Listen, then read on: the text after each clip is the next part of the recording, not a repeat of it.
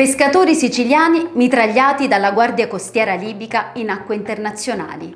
Erano a 94 miglia a nord di Misurata. Nessun danno agli uomini, ma la barca è gravemente danneggiata.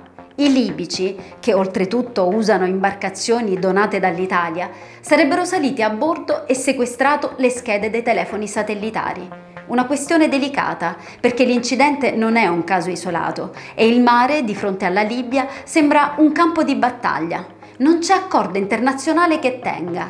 In Libia ci sono sostanzialmente due governi, quello di unità nazionale, riconosciuto dall'Italia, dall'Unione Europea e dall'ONU, che controlla la capitale Tripoli ed il nord-ovest del paese, L'est e varie altre zone ricadono invece sotto l'autorità di un governo parallelo del generale Khalifa Haftar.